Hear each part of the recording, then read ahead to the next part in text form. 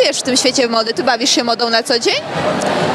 W sumie czasami tak, zdarza mi się, no tak naprawdę większość stylizacji, e, które wybieram, wy, wybieram sama, ale inspiruję się różnymi rzeczami, czy to z zagranicy, czy, e, czy tak naprawdę no, wieloma rzeczami, więc, e, więc lubię czasami, jak są takie wydarzenia, fajnie jest czasami założyć na siebie coś e, i czymś się zainspirować. Kiedy wychodzisz e, na ścianki, e, to sama dobierasz sobie sukienki, sama wybierasz swoje stylizacje? Najczęściej tak. Albo pomaga mi w tym moja przyjaciółka, e, czasami też odwiedzam projektantów i wspólnie nad czymś myślimy, ale głównie e, jakby sama najczęściej szukam jakiegoś pomysłu, inspiracji, w czym bym mniej więcej chciała pójść.